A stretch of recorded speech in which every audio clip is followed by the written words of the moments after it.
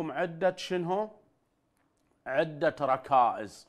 من هذه الركائز إن الله وملائكته يصلون على النبي. لماذا يصلون على النبي؟ يقول حينما عصم محمد نفسه ولم يدع إلى الباطل أن يأتي من أي مكان لمحمد انبهر به الله. فحينما انبهر به الله باه الله به الملائكة. قال هذا عبدي هذا طموحي هذا الذي أطاعني. طاعة لم يطيعني أحدا منذ أن خلقت الخليقة مثل ما أطاعني محمد فيستحق ثنائي وشكري بهذه الصلاة. يا أيها, يا أيها الذين آمنوا صلوا عليه وسلموا تسليما. هنا مشكلة. يا أيها ليش حصرا؟ يا أيها الذين آمنوا صلوا عليه. أي أعطوه الولاء المطلق. يا علي هذا محمد يعطى الولاء المطلق.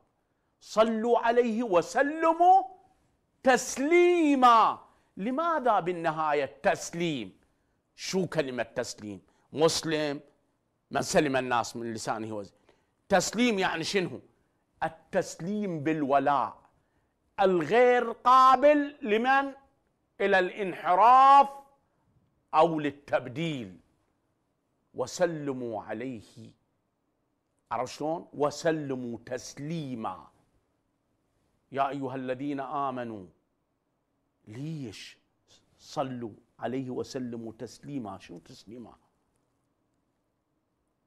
هذا يدلل على إنه التسليم بمن؟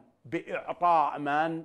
بإعطاء الولاء المطلق لرسول الله. ومن يعطي ولاءه فلا يبدل تبديلا. شو؟ شو يقول بصورة الأحزاب؟ أخوان بس انتبهوا لنا بصورة الأحزاب يقول إنما الله اشترى من المؤمنين أموالهم وأنفسهم. خوش بعدين شو يقول؟ رجال صدقوا ما عاهدوا الله عليه. صدقوا ما عاهدوا الله عليه. صدقوا ما عاهدوا الله عليه. فمنهم من قضى نحبه ومنهم من ينتظر وشنو؟ وما بدلوا. تبديلا. يقول معلمي ما بدلوا تبديلا بأي شيء. ولكن حينما قتل رسول الله واستشهد يقول بدلوا الناس كل شيء. وخرج وجههم القبيح. ولم يبقى مع عليا إلا علي يعني إلا فاطمة نفس علي أي نفس محمد. هاي مشكلة.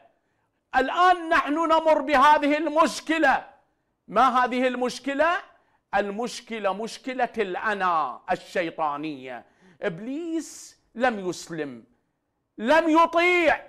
إذا من لم يطيع لم يسلم ومن لم يسلم أصبح ربه وإمامه إبليس عليه اللعنة والعياذ بالله. هكذا يقول معلمي. وين رايحين أنتم وين رايحين؟ هذه يومية قضية علي بن أبي طالب من تزورون مصيبة على رؤوسكم. كارثة. هذا دليل على أن تلزمكم الحجة. وبهذه المشكلة مشكلة ما بعدها مشكلة. يقول معلمي تروح الواحد يذكرك يومية يذكرك يومية بالعقاب. يذكرك يومية بأنه إذا أنت سويت فلان قضية يصير بيك شيء. بعد من توقع ما يطلعك يقول ما يجرك ويطلعك. ليش؟ ذكر المؤمنين إن الذكرى تنفع.